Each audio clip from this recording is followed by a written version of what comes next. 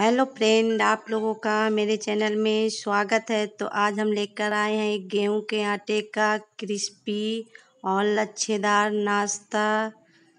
तो आप लोग देख सकते हैं, नाश्ता हमारा कुछ इस तरह बनके तैयार होने वाला है। तो चलिए चलते और बनाना स्टार्ट करते हैं। तो यहाँ पर हमने लिया हुआ है एक कप गेहूँ का आटा। और उससे आधा कप रवा और आधा कप हमने यहाँ पर लिया हुआ है बेसन। इसके बाद हमने यहाँ पर ली हुई है अजवाइन। इसको हम हाथ से मसल कर डाल देंगे। यहाँ पर हमने ली हुई है कस्तूरी मेथी। इसको भी हमें हाथ से मसल कर डालना है। तो यहाँ पर हमने ली हुई है सौंप। सौंप को भी हमने डाल दिया है इसमें। इसके बाद लिया हुआ है एक चम्मच भुने हुए जीरे का पाउडर।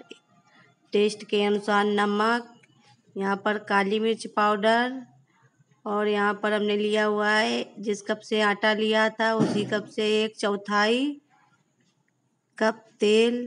तो इससे हम इसमें मोहन लगाने वाले हैं। तो इस तरह से हम थोड़ा थोड़ा डाल के इसको मिलाएँगे।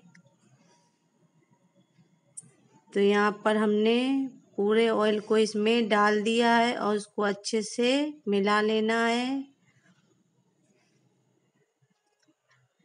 तो यहाँ पर जब इस तरह से लड्डू जैसे बंधने लगे तो समझ लो हमारा मोहन ठीक मात्रा में लगा हुआ है। इसके बाद हमने लिया हुआ है उसी कप में गुनगुना पानी। यहाँ पर मुझे थोड़ा थोड़ा पानी डालकर आटे को लगाना है। एकदम से पानी बिल्कुल भी नहीं डालना है, क्योंकि हमने इसमें पहले से ही मोहन लगाया हुआ था तो पानी बहुत कम लगने वाला तो हमारा आटा लग के हो गया तैयार।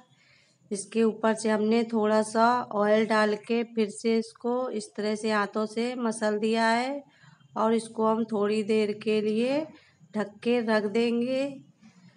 तो यहाँ पर हमने ली हुई है एक कटोरी, उसमें हमने लगभग दो चम्मच तेल लिया हुआ है और यहाँ पर लिया हुआ है दो चम्मच आटा। तो इसको हम अच्छे से फेंट देंगे। इसको फेंट फेंट के मुझे लपसी की तरह बना के तैयार कर लेना है। इस तरह से फेंटना है। तो यहाँ हमने इसको भी फेंट के तैयार कर लिया है। इसमें गांठें बिल्कुल भी नहीं होनी चाहिए। और इधर हमारा आटा भी फूल के तैयार हो गया है, क्योंकि हमने इसमें रवा और बेसन डाला हुआ था तो इसको हमने लगभग आधे घंटे के लिए छोड़ दिया था।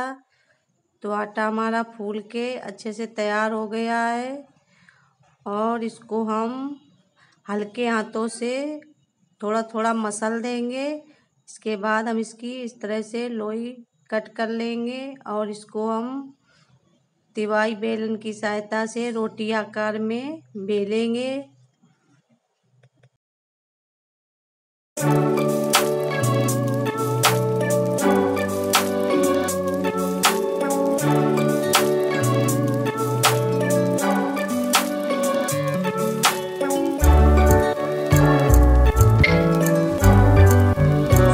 जो ये पेस्ट बना के रखा हुआ था, इसको पूरे रोटी में बना, लगा देंगे और इसको हमें गोल गोल बना के तैयार कर लेना है।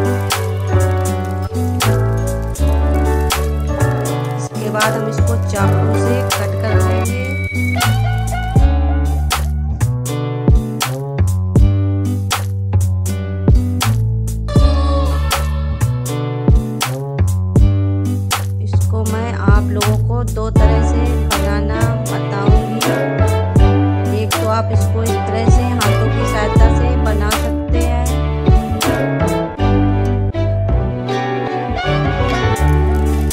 और इधर आप बेलन से भी इसको बना के तैयार कर सकते हैं। यहाँ पर हमने पूरे नाश्ते को बना के तैयार कर लिया है। इसी तरह से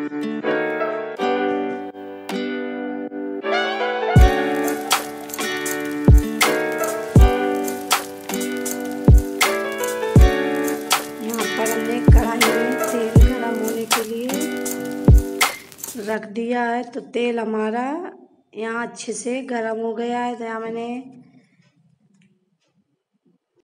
नाश्ते को इसमें डाल दिया है और इसको मुझे मीडियम आँच में पकाना है। और जब तक ये नीचे की ओर अच्छे से पक ना जाए, तब तक बिल्कुल भी मुझे पलटना नहीं है। तो यहाँ पर नाश्ता हमारा पककर तैयार हो गया है। आप लोग देख सकते हैं कितना परतदार और करारा बनके तैयार हुआ है। आप लोग अगर हमारे चैनल पर पहली बार आए हों तो हमारे चैनल को सब्सक्राइब कर लें।